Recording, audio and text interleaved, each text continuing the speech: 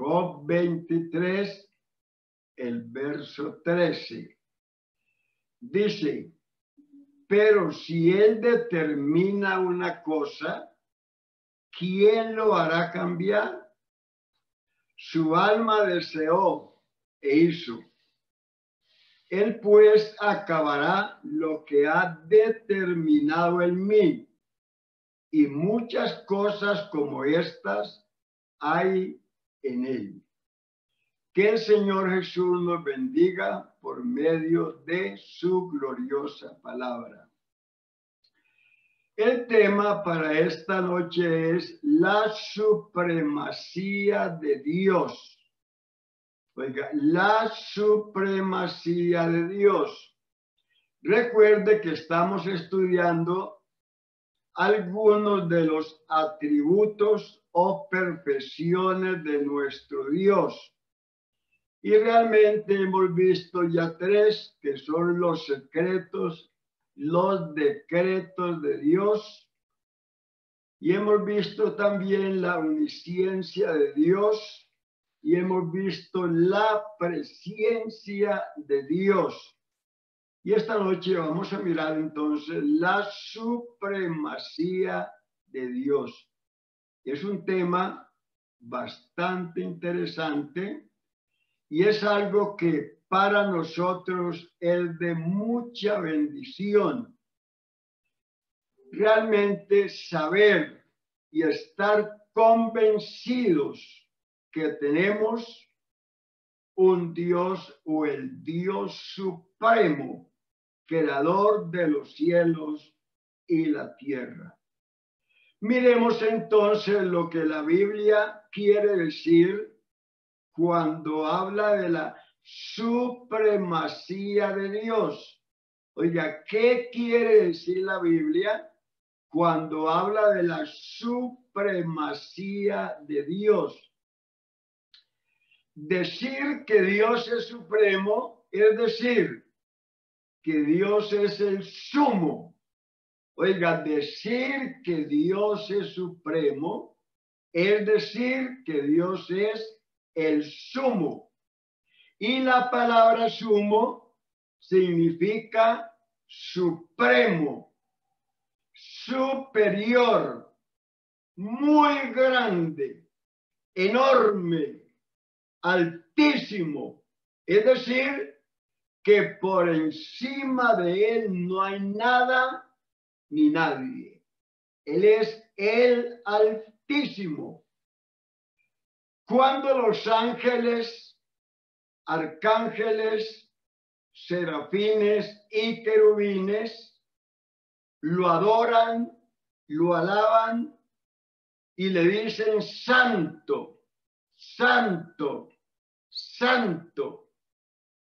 No están adorando la Trinidad como algunos sugieren. Cuando ellos dicen santo, santo, santo, están diciendo que Él es el Altísimo. Eso es lo que están diciendo cuando le dicen tres veces santo. Que Él es el Altísimo. Sin embargo, escuche bien, sin embargo, en el Salmo 45, verso 7, dice, que Dios subió. Oiga, subió Dios con júbilo. Jehová con sonido de trompeta. Oiga, subió Dios con júbilo. Jehová con sonido de trompeta. Y la pregunta es, porque esto despierta una interrogación. Pero ¿para dónde iba a subir el Altísimo? ¿Para dónde iba a subir el Altísimo?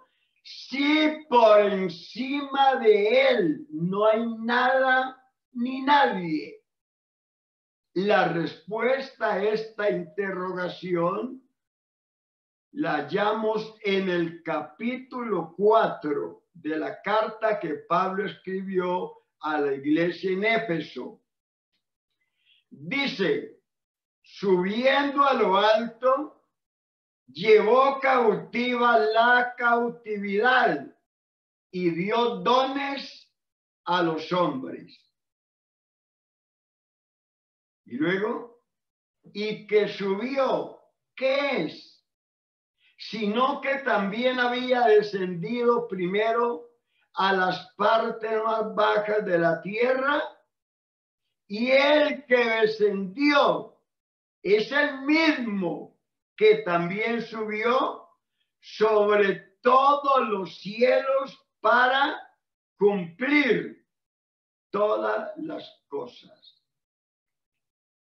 Y para que no hayan, oiga, y para que no hayan dudas acerca del que descendió y el que subió, dice Pablo que no fue Dios el Hijo, como algunos enseñan, que Dios envió su Hijo del cielo a la tierra a hacer una obra y que Él se quedó en el cielo como un buen espectador, mirando los acontecimientos y mirando lo que a su Hijo le sucediera para que no hayan dudas acerca del que subió y descendió, entonces Pablo dice que el que descendió, que el que subió, es el mismo que también descendió, es el mismo, no fue otro,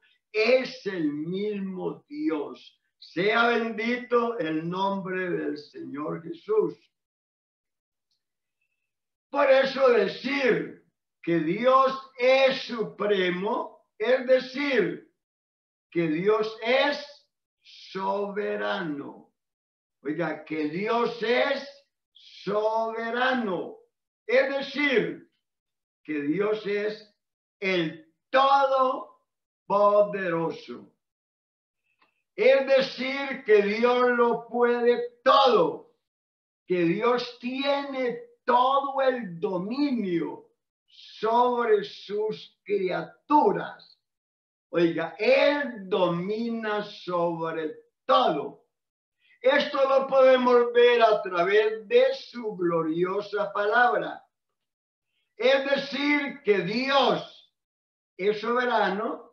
Oiga, decir que Dios es soberano, es decir, que Dios hace todo lo que quiere en el cielo y en la tierra, en los hombres, en los animales y también hace todo lo que quiera y nadie lo puede estorbar. ¿Sabe que esas fueron las palabras de el orgulloso y altivo Nabucodonosor quien se creía el Dios de la tierra, pero ahora está comiendo hierba como los animales y estando en esa condición, miró al cielo y reconoció que el Supremo Dios hace todo lo que quiere. Daniel 4:34 dice, mas al fin del tiempo, yo Nabucodonosor alcé mis ojos al cielo y mi sentido me fue vuelto y bendije al Altísimo y alabé y glorifiqué al que vive para siempre porque su señorío es sempiterno y su reino por todas las edades. Y todos los moradores de la tierra por nada son contados. Y el ejército del cielo y en los habitantes de la tierra hace según su voluntad ni hay quien estorbe su mano y le diga, ¿qué haces? Así que decir que Dios es supremo, es decir, que Él, él se enseñorea de las gentes, que Él tiene todo el dominio sobre sus criaturas, eso lo dijo David por el Espíritu Santo. Salmo 22, verso 28. Vea lo que dice. Porque de Jehová es el reino y él regirá las naciones. Oiga, de Jehová es el reino y él regirá las naciones.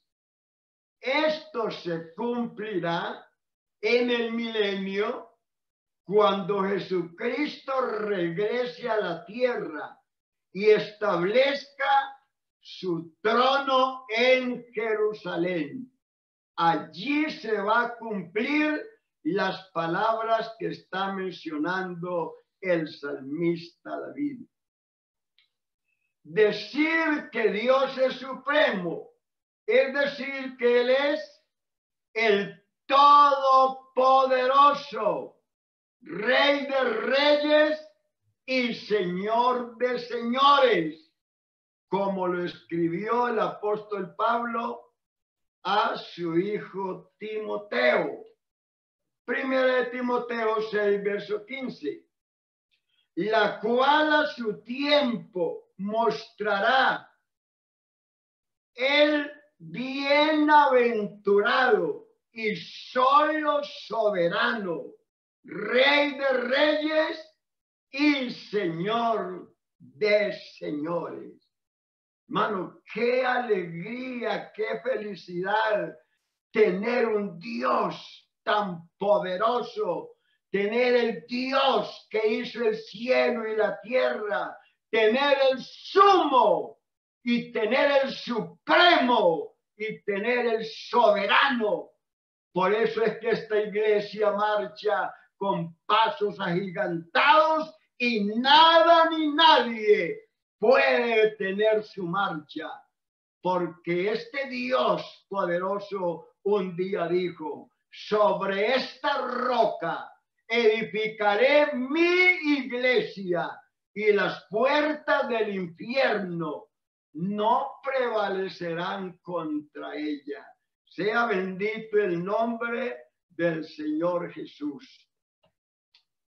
Pero el concepto de muchos, oiga bien, el concepto de muchos es que Dios es como ellos, débil, enfermo, mezquino, carente de poder.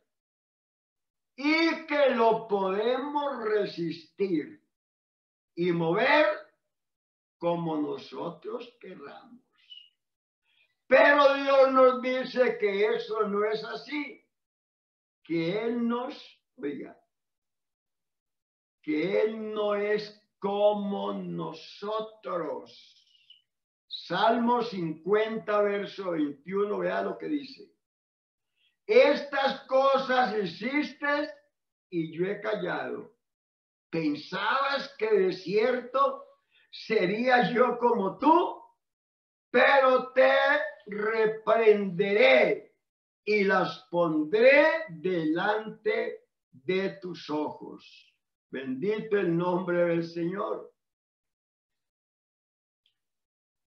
Y este Dios supremo, que no es como nosotros, no hay quien lo haga cambiar de opinión, porque Él no es como el camaleón que cambia de colores.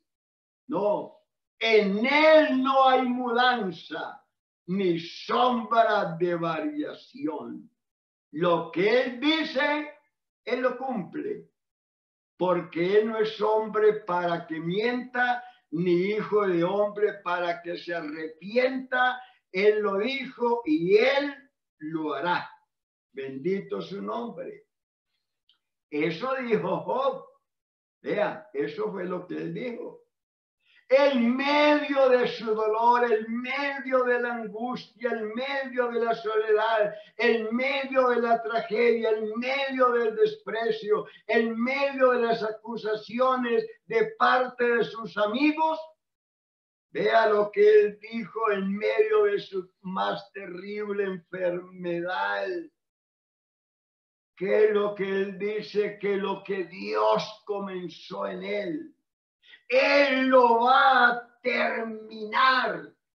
No, va, no lo va a dejar a medias como nosotros que iniciamos un trabajo, una labor y pronto nos cansamos y dejamos las cosas a medias.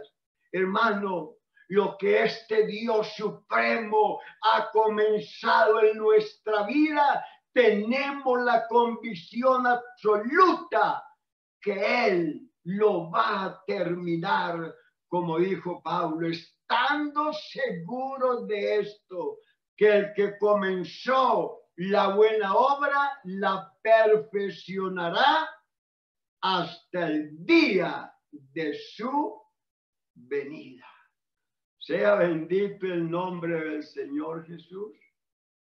Por eso dice si Él determina una cosa, ¿quién lo hará cambiar? Su alma deseó e hizo. Hace lo que quiere, como quiere, cuando quiere y donde quiere. ¿Y quién le dirá qué haces?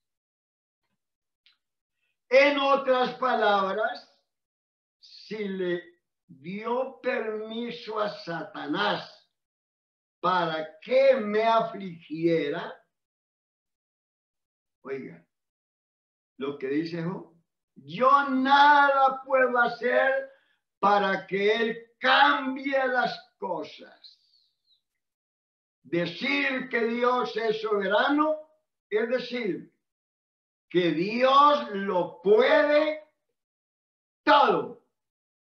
Eso fue lo que dijo, lo que dijo Job le dijo a Dios cuando Dios le hizo la descripción del leviatán para convencerlo de su impotencia y de la omnipotencia de Dios. Y Job respondió, capítulo 42, verso 2, yo conozco que todo lo puedes y que no hay pensamiento que se esconda de ti. Por eso decir que Dios es supremo es decir que contra Él no hay nada. Proverbios 21, verso 30. No hay sabiduría, ni inteligencia, ni consejo contra Jehová. Ahora miremos dos hechos de la supremacía de Dios sobre la obra de sus manos. Dos hechos de la supremacía de Dios sobre la obra de sus manos. Uno, al mandato de Dios, la tierra se abrió. Número 16, 31. Y aconteció que cuando cesó de hablar todas estas palabras, se abrió la tierra que estaba debajo de ellos, abrió la tierra su boca y los tragó a ellos a sus casas y a todos los hombres de Coré y a todos sus bienes. Dos, a la orden de Dios, el sol se detuvo. Josué 10, verso 12.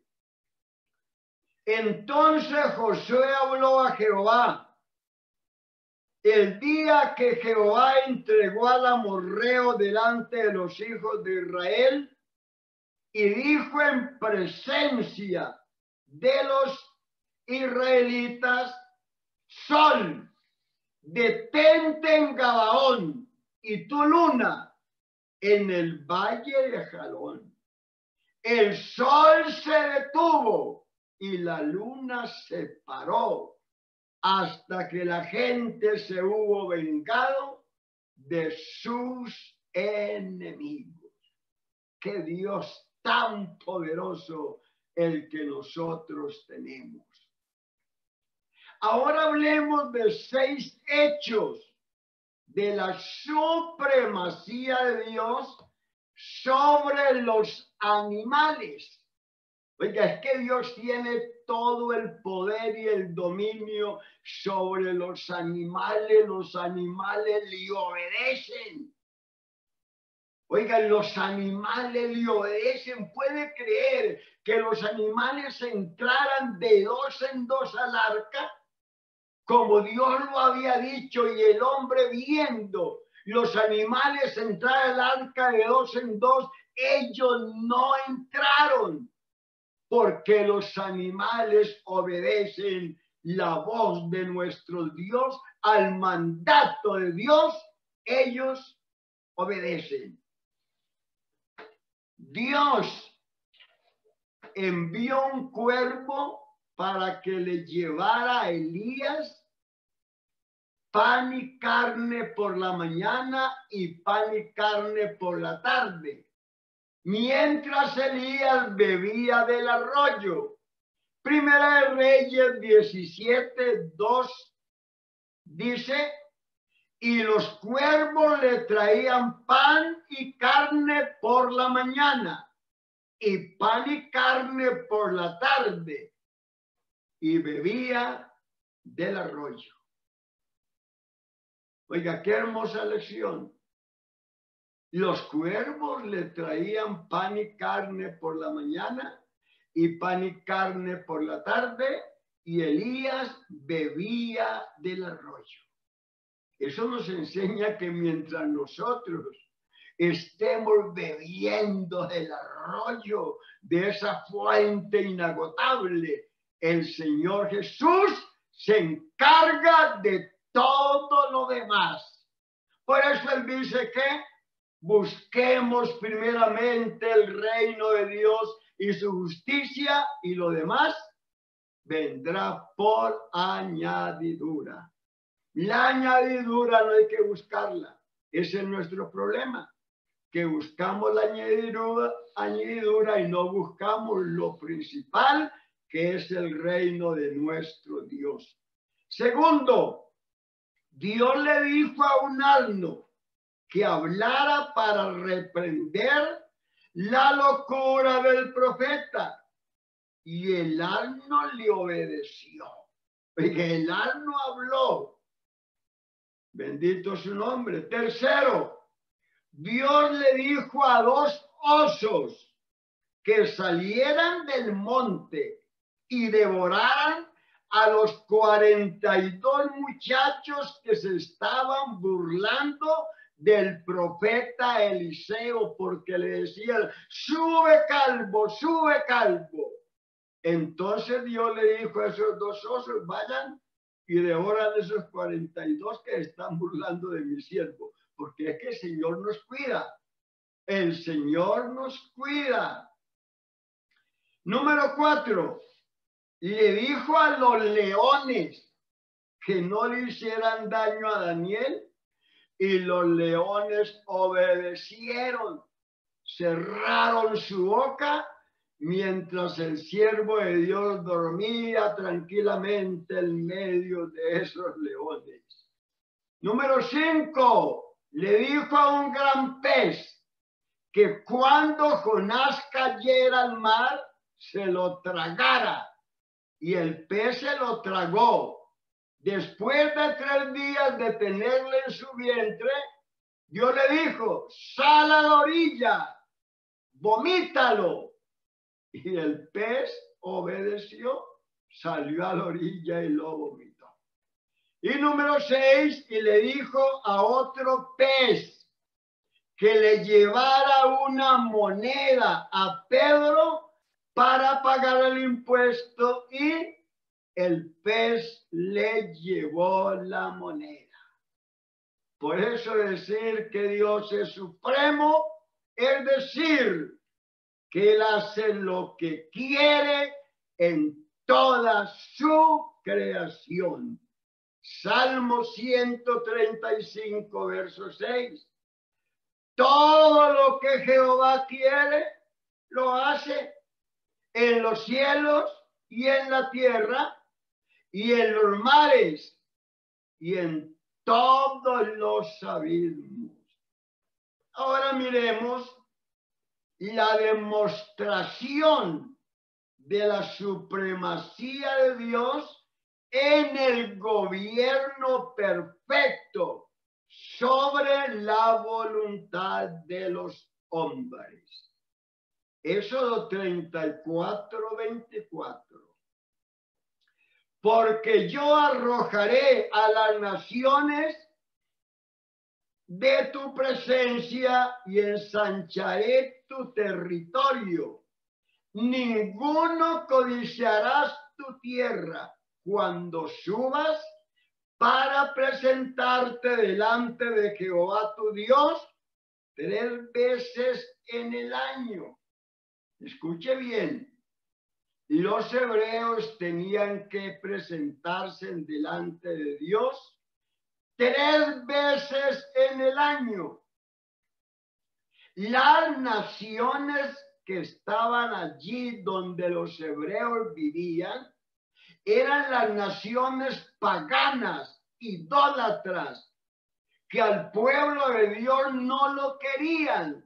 Pero hermano, mientras ellos subían allí a Jerusalén tres veces al año para adorar y ensalzar el nombre que es sobre todo nombre, Dios cuidaba sus casas, sus propiedades, sus haciendas, de tal manera que los enemigos no tomaban absolutamente nada de las pertenencias del pueblo de Dios, porque Dios tenía control sobre esas naciones y cuidaba lo que era de sus hijos. Bendito su nombre, aunque los odiaban, Dios no les permitió que les tomaran nada de sus pertenencias mientras ellos estaban en la fiesta adorando a nuestro Dios. Bendito el nombre del Señor. Como tampoco le permitió al rey de Gerar que tocara a la esposa de Abraham. La tuvo unos días pero Dios no le permitió que la tocara. Porque es que Él manda al rey. Por encima del rey hay otro rey que es el rey de reyes y el señor de los señores. En resumen, en resumen, la enseñanza de la supremacía de Dios nos debe llenar de regocijo, de confianza y de seguridad al saber que nadie nos podrá dañar si Dios no se lo permite. Nada ni nadie nos podrá dañar si Dios no se lo permite. Vean lo que, lo que dijo Cristo en San Lucas 12, 7. Mire, pues aún los cabellos de vuestra cabeza están todos contados. Él sabe cuántos cabellos tengo yo y cuántos cabellos tienen los hermanos que están allí dirigiendo el culto. Los tiene todos contaditos. Y nos dice, no temáis, pues más valéis vosotros que muchos pajarillos. Él sabe cuántos cabellos tengo yo y cuántos cabellos tiene usted. Y ninguno de esos cabellos perecerá sin la voluntad de Dios. Vea, Dios cuida hasta nuestros cabellos. Mateo 21, 17. Y seréis aborrecidos de todos por causa de mi nombre, pero ni un cabello de vuestra cabeza perecerá. En el caso de Job, Dios no le permitió a Satanás traspasar el límite. Dios le puso límite a Satanás y no lo pudo traspasar como le puso límites al mar. Al mar le dijo, hasta aquí llegarás y de aquí no pasarás. Y el mar no ha traspasado los límites que el Señor le puso. Job 1, verso 12. Dijo Jehová a Satán, he aquí todo lo que tiene está en tu mano, solamente no pongas tu mano sobre él. Le permite quitarle todo, pero no le permite tocar su cuerpo. Y luego le permite tocar su cuerpo, pero no le permite que lo mate. Sea bendito el nombre del Señor. Dice el capítulo 2, verso 7. Entonces salió Satanás de la presencia de Jehová y hirió a Job con una sarna maligna desde la planta del pie hasta la coronilla de la cabeza pero no lo pudo matar porque Dios no se lo permitió. Por eso el Señor dice, no temáis a los que matan el cuerpo, pues el alma no puede matar. Tenemos uno que está con nosotros las 24 horas del día. Él está a nuestro lado cuidando a sus hijos y Pedro nos dice que nadie nos podrá hacer daño. Primera de Pedro 3, verso 13. ¿Y quién es aquel que os podrá hacer daño si vosotros seguís el bien? Hermano, seguir el bien es una grande bendición de parte de Dios porque nadie nos podrá hacer daño. ¿Quién es aquel que os podrá hacer daño si vosotros seguís el bien? Hermano, nada ni nadie nos podrá hacer daño mientras nosotros sigamos fieles a Dios. Esa es la promesa de nuestro Dios y Dios no miente. Por eso, él dijo a su pueblo y por ende a todos nosotros, no temáis manada pequeña, porque a vuestro Padre le ha placido daros el reino. Que el Señor Jesús continúe bendiciéndonos y una feliz noche para todos.